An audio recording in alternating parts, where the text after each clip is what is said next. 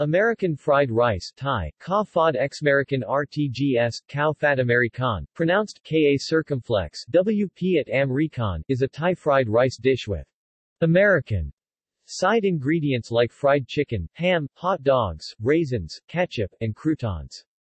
Other ingredients like pineapple are optional. History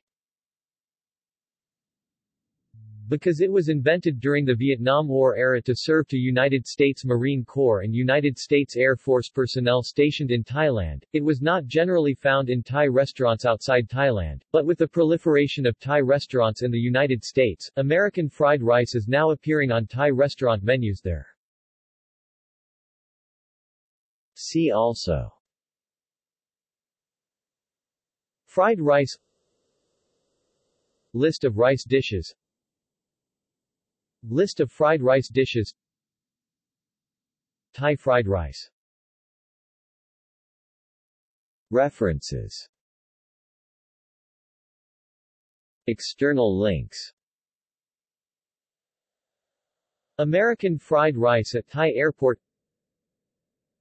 American fried rice recipe at RealThaiRecipes.com